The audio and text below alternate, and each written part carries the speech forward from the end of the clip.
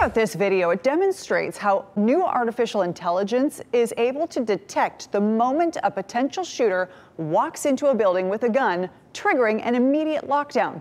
I'm Ashley Rowe. And I'm Dan Haggerty. Law enforcement officers, as you know, are constantly training to respond to an active shooter situation at a school or at a business. But what if those places had a way to detect a weapon before it made its way inside? WRAL's Gilbert Baez was given a demonstration of an artificial intelligence gun detection system in a story you'll only see on WRAL.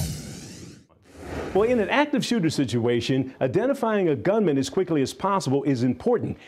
Well, there's an artificial intelligence system that can do just that. Video like this is etched in our hearts and minds. Students single file with their hands up after an active shooter incident on a school campus. But suppose the person with a weapon could be identified in the parking lot before they can even enter a building. Like that. See, it picks it up immediately. Malcolm Lewis is CEO of Foxhole Consulting.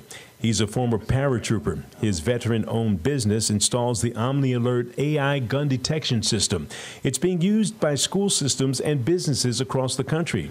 Experts say in an active shooter situation, seconds can save lives. This AI gun detection system, it will identify a weapon within two seconds, between two and five seconds, notify law enforcement, EMT, and all the emergency crews, SROs on, on the ground. Lewis says the system works with existing security cameras. It follows intruders from place to place. So once it picks it up on the first camera, right, it transfers it to the next, to, the, to wherever that person is going. So you know, it's always going to be some kind of camera coverage. The system can identify a handgun or a long gun, like an AR-15.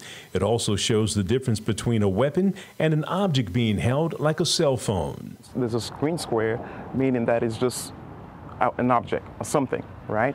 With the, with the weapon, when it's identified as a weapon, it's, it becomes a red square.